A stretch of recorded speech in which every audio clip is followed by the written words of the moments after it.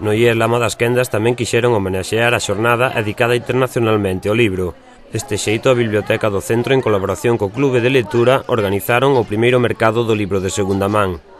Pusemos en funcionamento este ano un club, do, un club de lectura no centro que non había, promovémolo e entón eh, unha das actividades e dos obxectivos era que os rapaces manexen libros e teñan máis libros na casa dos que soen ter, non? Entón, eh, aquí o que promovemos foi que trouxeran libros que tiñan na casa para intercambiálos con outros alumnos, daseis un vale, tran un e lebran outro, ou ben podenos mercar por un precio simbólico dun euro.